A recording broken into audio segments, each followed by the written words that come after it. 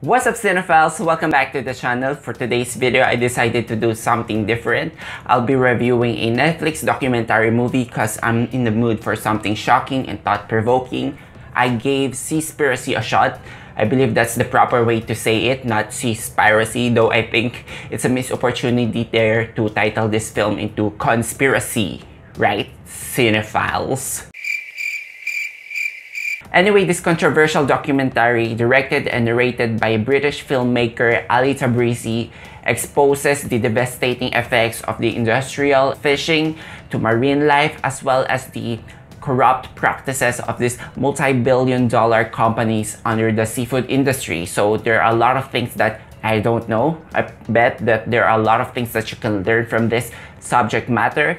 And yeah, before I continue with this review, I invite you guys, if you haven't subscribed yet to the channel, hit that subscribe button and give me a like as well. We do weekly reviews of movies and TV shows, so if you're down for that type of content, especially the Netflix content, go subscribe to us. I know right now we're in the midst of pandemic and if you don't want any additional layer of ecological anxiety in your lives, don't watch this movie. Though this might be something that you don't want to watch, this is something that you definitely need to watch. So I know conflicting right? But there will be a lot of graphic and lingering images of violence against animals. So if you don't have the stomach for this type of scenes I won't force you to watch this. And frankly speaking I don't think people care much about fish compared to other animals like cows or other land animals. Anyway, that's just the perception that I get. But, you know, we have to take in consideration that fish are sentient beings too,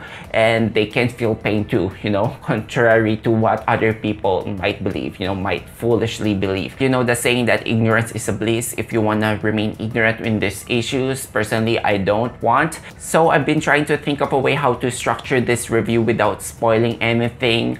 Unfortunately, I don't think I can do that because there are some claims here in the movie that I need to mention. So I can give a, you know, as detailed analysis as I can on the subject matter. Obviously, I'm not an expert, so take everything that I'm going to say here with a huge grain of salt. I guess I'm going to put out my rating as early as now and say go stream this movie. This is a definitely urgent subject matter. Maybe not as urgent as what you think right now, but this is something that we're going to face in the near future as the movie arguments it. I have to put out though that you need to exercise your judgment and you know maybe do extra research because there are some things here that I don't necessarily agree with. Again, this is a non-expert opinion. There are more knowledgeable people out there. But yeah, here's my take. So since I can't promise that I won't be mentioning spoilers, anyway, this is not the type of movie where there's a strict structure. This is not a true crime documentary. Think of this more as an informative exercise. These are just mostly facts.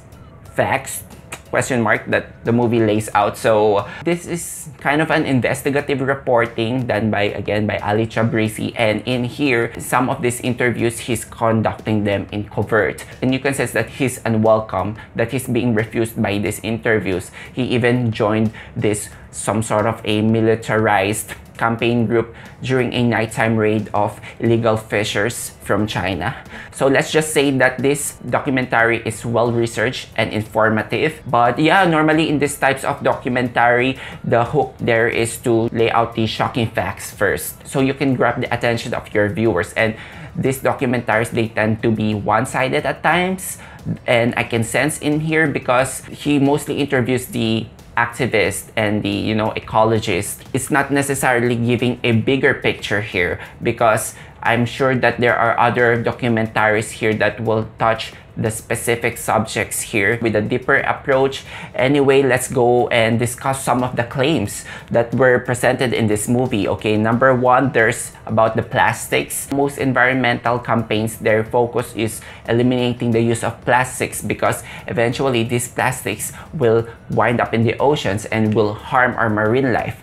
However, the, we have laid out a research here that shows it actually only represents 0.03% of the waste that is found in the oceans. More than half of it is actually coming from the fishing. We're talking about mass fishing. When you dissect one of the whales here, you can find actual big nets inside. I did not expect that some of these fishing nets can cast a size as big as a cathedral. A lot of shocking facts in there. Another one is the dolphin safe labels, which is mostly found in tunas, meaning that no dolphins are harmed while fishing. That in itself is not necessarily true because A, some of the regulators are not necessarily there for most of the time, and B, the systems can be flawed, people can be bribed. Some of the facts that should not be shocking to you, but you know, they blatantly use these stickers like they're just handing this for free, all in the name of capitalism. And then to the subject of the shark killings, Ali here travels around the world. In one of his destinations, he goes to Japan and he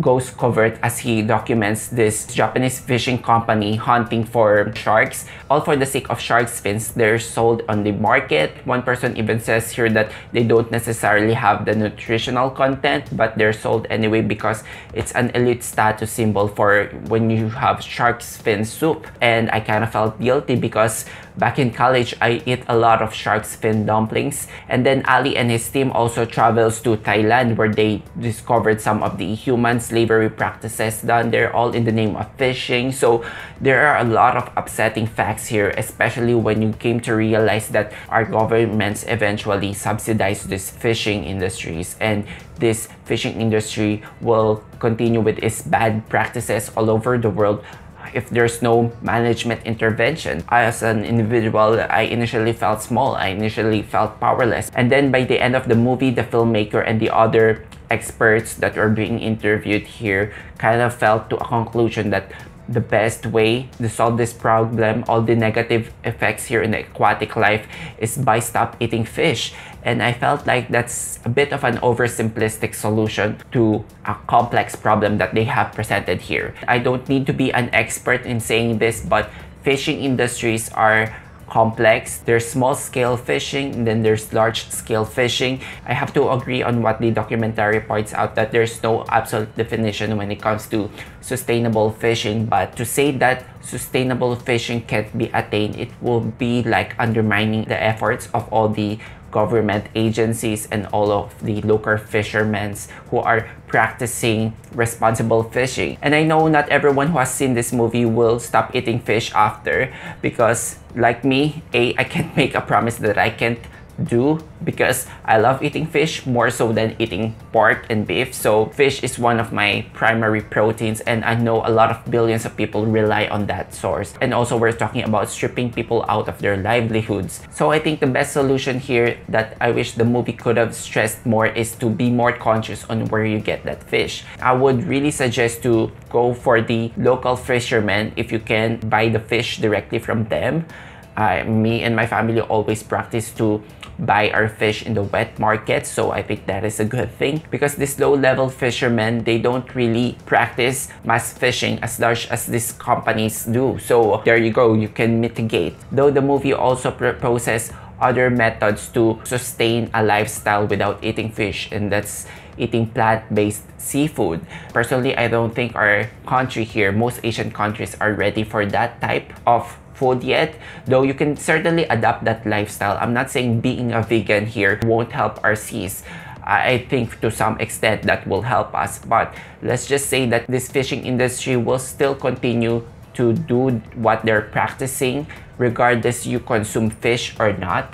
That this fishing industries needed to have some corrective methods on an administrative managerial level, which are clearly outside your bounds as a regular person. So I guess in my own little way in choosing where to buy my fish, that is the best option for me right now. Don't get me wrong, I'm not saying that this movie ends with a counterproductive message, though one can certainly interpret it that way. This movie lays out figures and proofs which are simply hard to dismiss. So this issue remains to be urgent. The movie even set a timeline that if these bad practices continue to happen in the fishing industries, we can expect virtually zero marine life by 2048. So that's a pretty bold and threatening statement there. Anyway, I urge you guys to go check this movie on Netflix. There's a lot of persuasive facts here and you can see that the filmmaker is really impassioned about this subject. I have to just say that realize that sometimes solutions are not a one size fits all. Practice your judgment and do extra research what you can. Once in a while, it's really good to see environmental documentaries like this because it's really thought provoking, especially for me. I don't really watch much of this, so I was glad that I get to watch this. So I guess that's it for my review slash reaction, a bit of a spoilery one for Seaspiracy. I don't really usually do this documentary reviews just because that in these types of documentary I'm not necessarily criticizing the filmmaking techniques here. I'm more talking about the subject matter here which I am clearly not an expert of but I hope I did my best and overall help in raising awareness for this really pressing subject matter. Let me know if you agree or disagree in any of my takes. I would be happy to hear from you guys. Also, if there are any suggestions that you would like to drop in there because I need to watch more of this stuff. Thank you so much guys for watching. If you enjoyed watching this video, hit that like button and subscribe to us for weekly content. Till then guys, see you on the next one.